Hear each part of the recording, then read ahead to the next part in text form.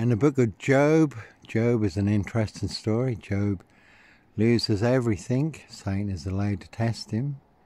Satan says, Oh, Job is only a righteous man because you've blessed him.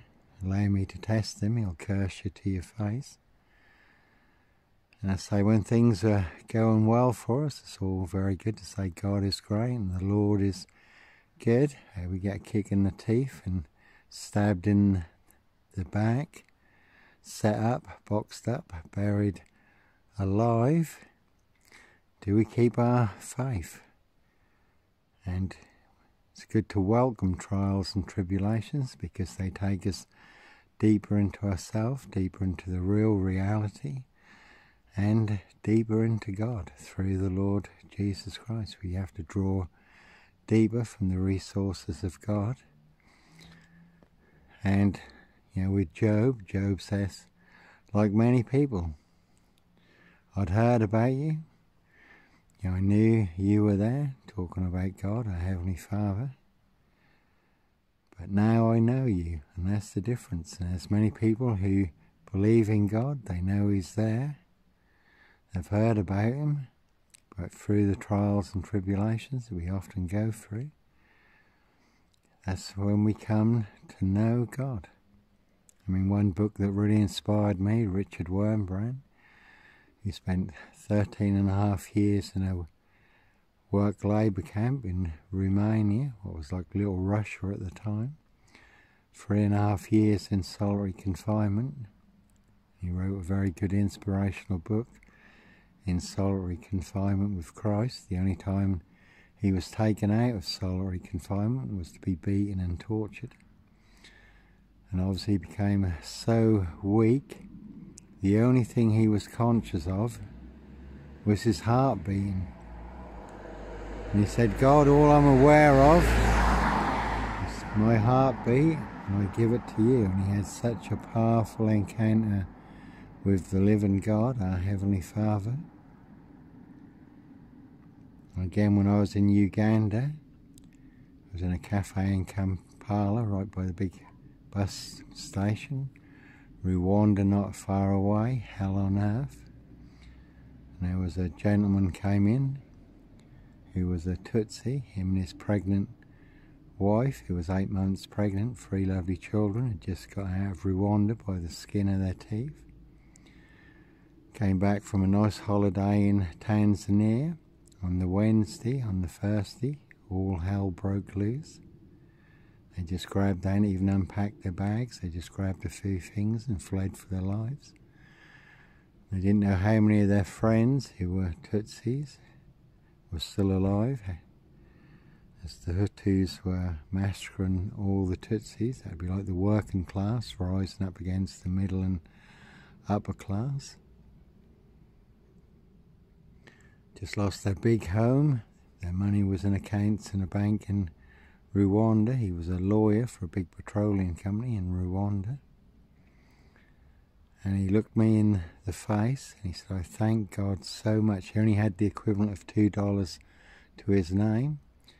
But he looked at me in the face and I've never seen someone with so much reality. He said, I thank God so much that we're alive and we're together. And I just lost everything. And like their family and friends who had been massacred, slaughtered in the genocide that was taking place in Rwanda. Again with Joseph, who was sold out by his brothers, who wanted to kill him because they were jealous of him. Threw him down a hole, and we can all be thrown down a hole by people and family and fake friends set up with monster lies bogus diagnosis and death threats in Diss Norfolk, UK. And the captain's wife threw herself at Joseph, wanted him to commit, but he wouldn't. He fled from her and she grabbed his cloak and cried attempted rape. So he then found himself set up on an attempted rape charge, imprisoned as a rapist. And in the prison, he did interpret two dreams, and God was moving him across the chessboard. And Joseph originally had this vision of his brothers bowing down to him, and he was looking at his circumstances and thinking, actually, this is not quite what I imagined. It's not quite how I thought things were going to play out.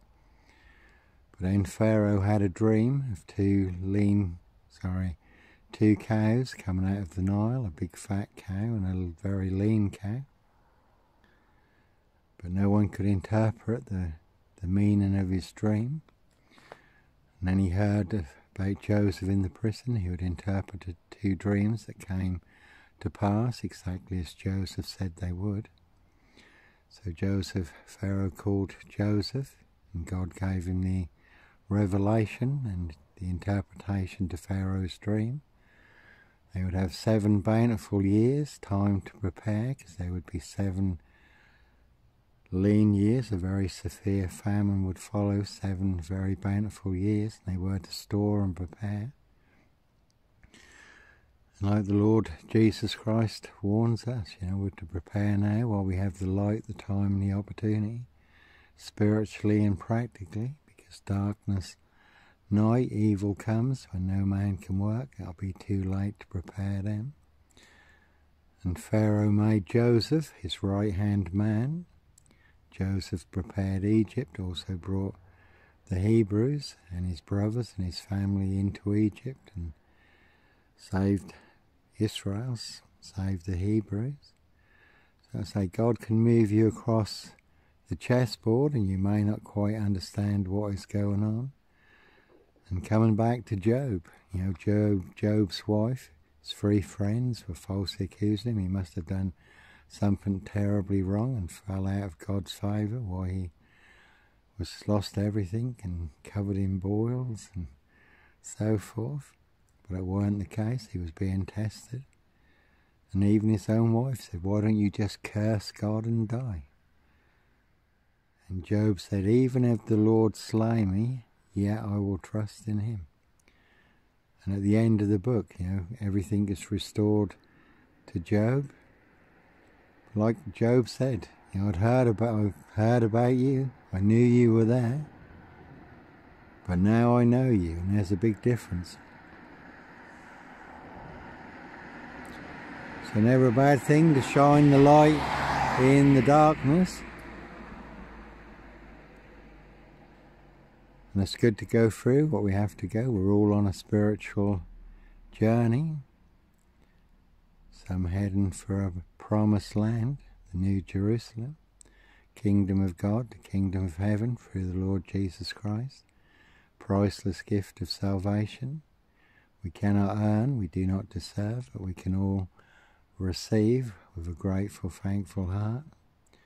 Spiritual journey that we're all on.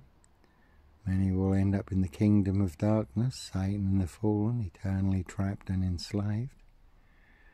So we have to choose and choose wisely whether we choose life or death, heaven or hell, eternal freedom or eternal entrapment and enslavement, eternal bondage. Separated from the love and power and grace of God.